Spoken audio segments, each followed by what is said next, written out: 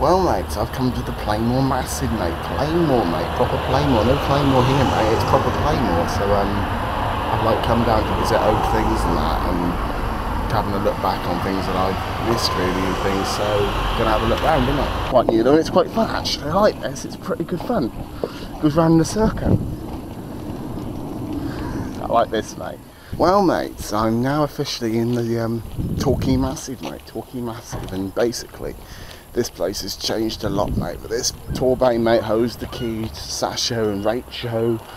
And it's not so bad now because Charlie's been sent down, mate. And I don't really know where I'm going to start my little expedition and trying to work out what's been going on and things. I mean, I'm just walking on different estates hoping to find some clues and that.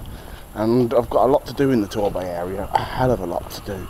So um, I'm just proper taking a look around and things. But yeah, it's an interesting area, but I don't know what's around the corner yet, mate. One thing's for sure, mate, this area has got plenty of memories on it, and I mean loads of memories. I remember me and Rachel used to live around here and things, and uh, we saw everything around here, literally. I mean, remember the old fish and chip bar in that? We used to come in for fish and chips. Remember that, mate? Used to always get on, I think it was a 32 or something, and uh, that lark and that, and then uh, everything went sour around here, mate. Every day on that thing on New Year's, mate. Uh, about that time, I believe, at New Year's Eve kind of time, everything fucked up, mate, and uh, it changed. So, well, this area has proper changed quite a bit, actually. It's uh, it was quite scary how it's changed, actually. To be fair, mate. Um, pretty interesting, really, how much it's different now.